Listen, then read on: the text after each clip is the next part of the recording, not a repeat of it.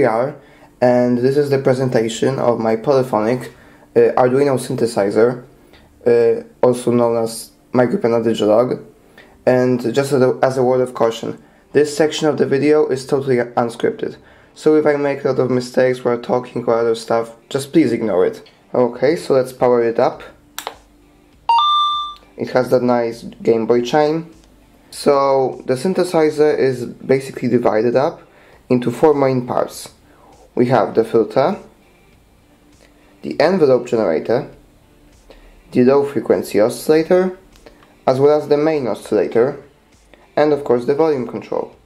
We will go through them from right to left as well they get more complicated in that order. So let's just begin. So first of all we have the main oscillator and this is the potentiometer that adjusts its pitch we can of course play it using the keys and we can also pitch it using the potentiometer. It has four main waveforms, although there are technically only two. We have the square wave, which is the default sound, a saw wave,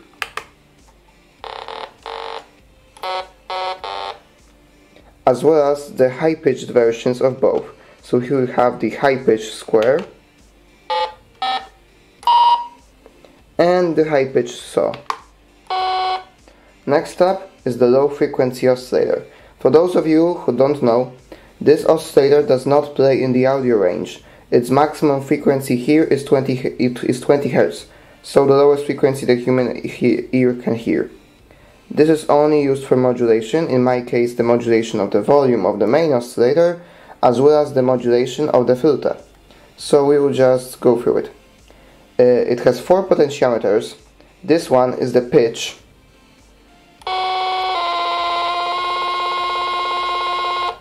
This one chooses the wave. I didn't have a switch for it so I just used the potentiometer. But when it is in this position, it's a triangle wave. I will slow it down so you can hear it better.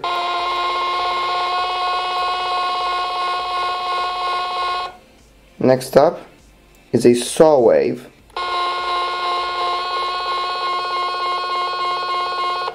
And then a square. So yeah. You could also see that I was messing around with these two potentiometers and these adjust the modulation or basically how much the filter modulates stuff. Just how much low, low frequency oscillator modulates stuff, sorry for the mistake.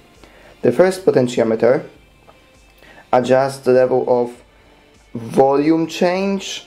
Basically how much the, the oscillator adjusts the volume of the main oscillator.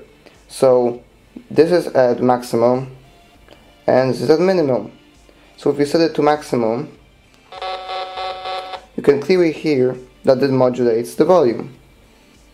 And the next potentiometer is used for setting how much the filter is modulated but we will go to that another uh, later. So this is the envelope generator and is used for, to modulate the volume or other stuff with an envelope. So it has these four potentiometers. This one is attack, decay, sustain and release. I'll go back to that a bit later. It also has these two switches that allow you to set what does the envelope generator modulate. So if this switch is turned on, that means that the filter is getting modulated by the envelope generator. However, if this light is lit up, that means that it's modulating the volume of the main oscillator. I will now demonstrate how this works. So we only have the main oscillator set to, to be modulated and we have a very long attack. That means that the volume of the node will be rising very slowly. Then we have the decay that's so basically how it works. The attack by this by setting this potentiometer, you set the amount of time it will take the nodes to get from the lowest volume to the absolute maximum allowed by the synthesizer, so 255 because it's an 8-bit synthesizer.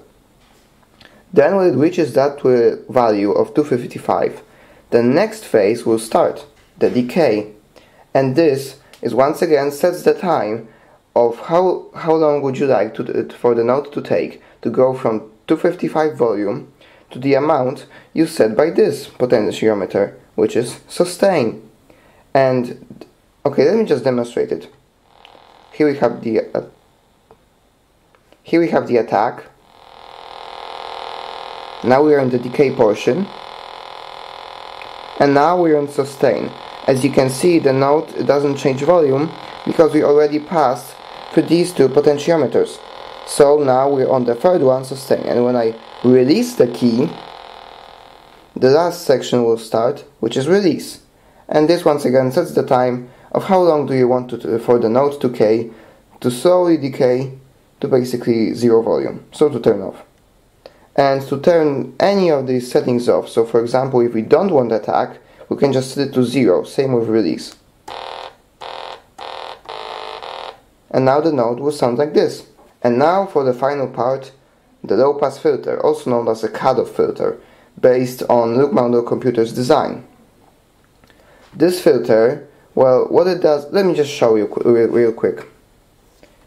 So we have a note playing, but what if we want to cut it out a bit?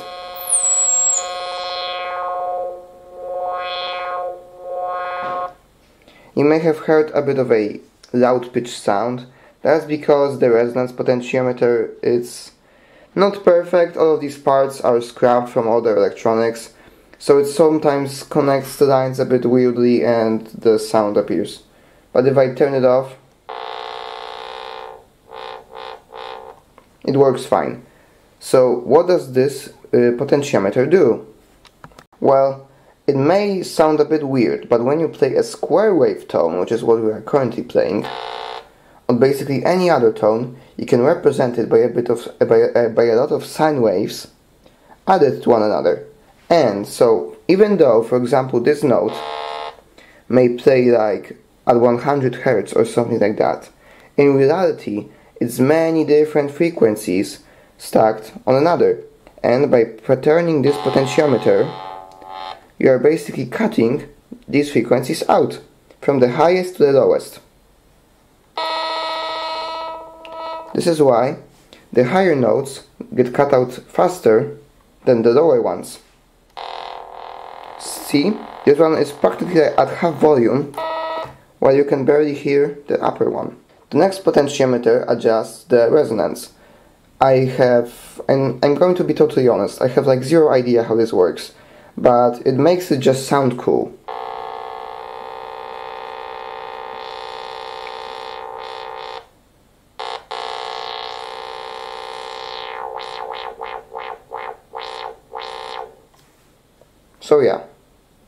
That's just what it does. And then the last potentiometer adjusts the modulation of the filter. So the way be, you might ask, why do we need this potentiometer? Well, we already have it on the low pass filter. Well, you see we have two modulators, the envelope generator and the low frequency oscillator. Sorry for the mistake a bit earlier on. So, the, the potentiometer here only adjusts how much does the LFO, so the low frequency oscillator, modulate the filter. It does not set how much does the envelope generator modulate it. And that's what this potentiometer sets. It's the overall modulation level for the filter from both the LFO and the envelope generator. So let me set it to the absolute maximum and let's turn off the main oscillator modulation and turn on the filter modulation as well as lower the volume modulation on the LFO and set the filter modulation to the absolute maximum as well as set a wave that will be easy to differentiate and the frequency to be very low.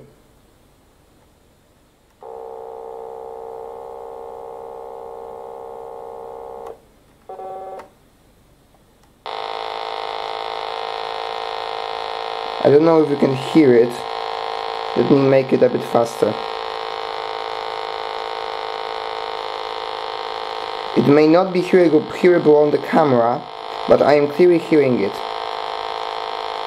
It's going at about this rate. The reason the modulation for the filter is so weak because the whole synthesizer is named the micropiano Digilog because uh, digital synthesizer that has one analog part in it, and that's the filter. So all of this is digital and is being generated on the fly by the Arduino sitting behind the speaker grill. The actual speaker is in the is this one is in this one. And because this is an analog filter scavenged from the uh, Korg MS20, it expects control voltages between 0 and 7.5 volts or something like that. The Arduino is only giving it a maximum of 5 and not always because we are also modulating it through the envelope generator so it, it, it takes time for it to build up and then fall down you know. So the modulation of the filter is not great. But the filter itself in my opinion at least gives a characteristic sound to it. And that's really all I can say about it.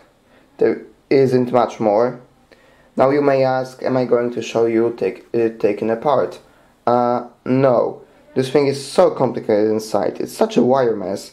It took it takes like 15 minutes to disassemble it and then assemble it again. So I'm just not going to do it. And also there's no point as you will make absolutely zero sense of it.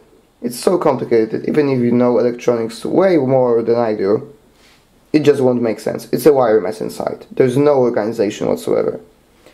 And also, if you're wondering, am I going to make it a DIY build project like I did with the Micropiano 1? No. Uh, I did it from I did it with no planning whatsoever. The, this keyboard right here, I found it in the trash. It was in good condition, so I took it out, cleaned it up a bit, and uh, removed all of the electronics. The keyboard matrix took a long time to figure out, so yeah. This was totally not planned, I have zero schematics of it it was like, oh yeah, this works, so let's attach it here. So it's totally un un unorganized, and I am not going to go through every single one of these things to draw a schematic. Just sorry. Now, the last thing. The synthesizer is polyphonic and can play up to four notes at the same time. However, it doesn't work that well as the mixing algorithm I written for it is a bit broken. It doesn't work the way I wanted it to.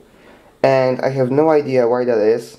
And I looked online for how to mix square waves and saw waves together. And well, what this does is basically distorts it a lot. So one note at a time is fine. What if I play two at a time?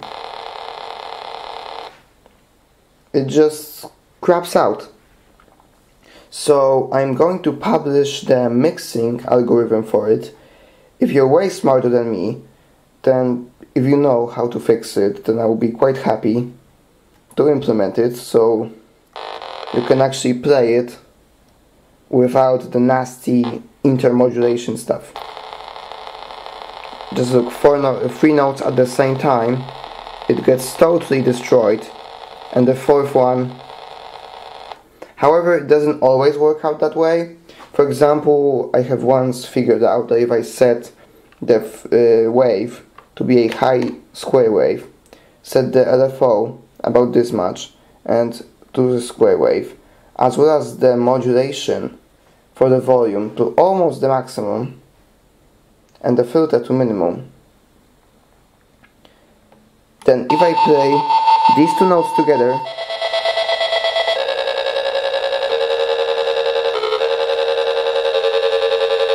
you can clearly hear the, lower, the lower note. So it's not like it's broken, it's just working not as well as I wanted it to. But all I can show you for the Micropiano Digilog. And well, see you next time and take care.